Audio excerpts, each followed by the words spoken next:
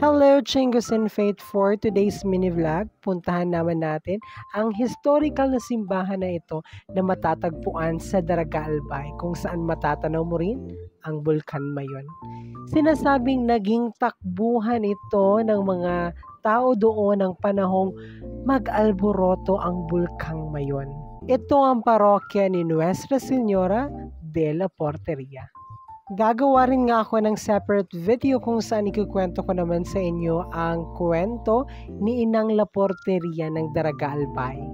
Alam ko na marami na akong nakatambak na dapat i-feature. Sorry, masyadong busy talaga.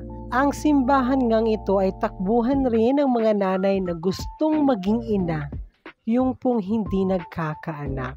Madyasing bisitahon siya sa Daraga Albay. Oh,